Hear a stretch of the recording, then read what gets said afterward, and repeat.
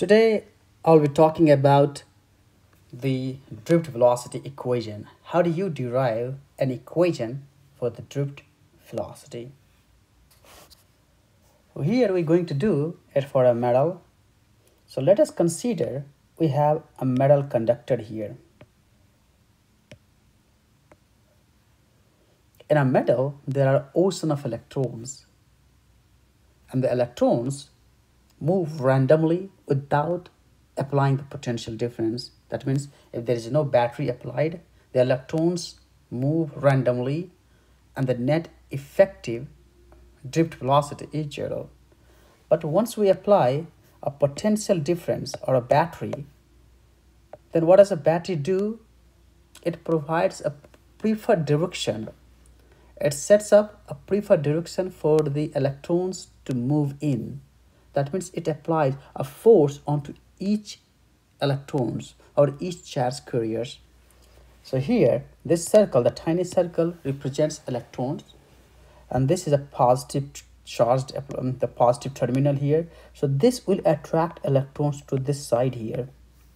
So the electrons will start moving in this direction. But once the electrons are in motion, so there are many millions of electrons. So they collide with each other. So the, once they collide, some of them turns back. So the motion, the average velocity of the electrons will be or in other words the drift velocity will be the average velocity with which the electrons move it's not like a free motion so there are always collisions in between okay? So here what do we assume the electrons or the charge carriers has traveled the distance or the displacement here the delta x that's the net displacement in time the delta t. So this delta x represents the displacement traveled by the many electrons which is the average and this in time delta t. Okay so once we know the uh, displacement and the time, then the average velocity, this is the magnitude, uh, given by the displacement divided by the time, which is the delta x over delta t. So the delta x will be now simply equal to the vd times delta t. This is the average velocity, and as I mentioned, the average velocity is also called the drift velocity of the charge carriers in a conductor. In this case this is for the electrons. Okay? So so far we know now the displacement in given time delta t. All right so the n we assume the n is the charge carrier density. What does this mean? So if you look at the copper or aluminum they have the different conductivity. That means they conduct the electricity differently.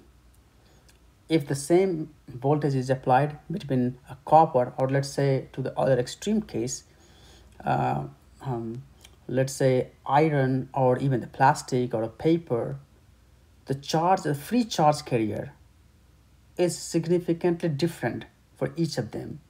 So the better conductor or a wonderful conductor will have a large charge carrier density so this term, in fact, differences how good a conductor is. The larger the value of this N is, that means it's a better conductor. That's the one way of looking at it. Okay. So the charge carrier density N is defined the number of charge carrier divided by the volume. Okay. How many charge carrier you have within a volume. The more the charge carriers have, the, the, the greater will be the charge carrier density. And what we assume here the charge of each char each charge carrier is q. Q is the charge of each let's say electrons. Or it could be ions it could be due to the ions okay? So that's the magnitude of the charge of each charge carrier. Now our goal is what is the charge that has traveled in this two segments here? In or in this displacement how many charges have crossed? How do we find out? So the delta q so i'm just going to write down here.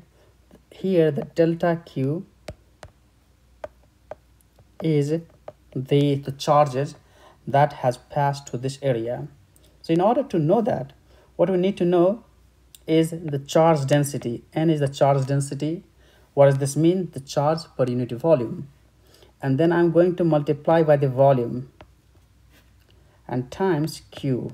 Q is the charge of each charge carrier. See this is the charge per density. The the number of charge carriers per unit volume. And if i multiply by the volume then this will give us so this term here this term or this term let's say n times v the n times v will tell you the number of charge carriers. Number of charges charge carrier and if I multiply by the charge of each carrier then that is the total charges okay? So now our goal is to find out what is the volume of this segment here. The volume. We know the cross sectional area. So this one has a cross section area we call a. The cross section area. And we know this length here this is just like finding the volume of a cylinder. It's exactly a cylinder here. So how do you find the volume of a cylinder? Cross sectional area times the height or the length. That's what we have done. Cross sectional area times the length. Okay. So now we know the delta x here. We already have gotten this delta x. So let's plug this delta x into this equation here so the delta q n times a and the delta x will be vt times q here. And I'm going to divide both sides by delta t. So the delta q over delta t would be simply equal to this term divided by the delta t. The delta t and delta t will cancel out.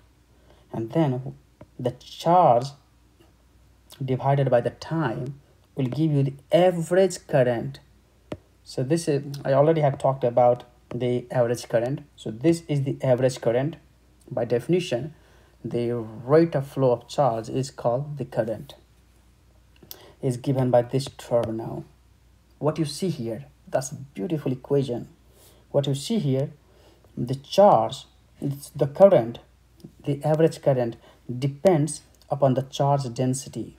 As I mentioned here um, if you have a conductor with a lot of charge density that means it will have a more current flowing through this one and it also depends upon the cross sectional area when I say cross sectional area the thicker a thicker the the wire is, the more currents will be passing through this one or more charges will be flowing through this one, which makes sense, right? If you have a bigger, thicker wire, that means the more current will be passing through it.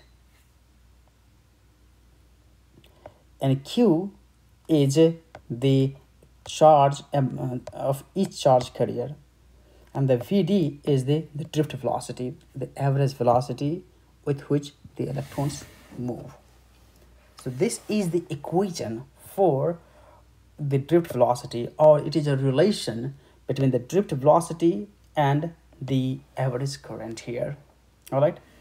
So current, this current is a scalar quantity. It does not have a direction. Although it, we say it is a direction, but it is a scalar quantity.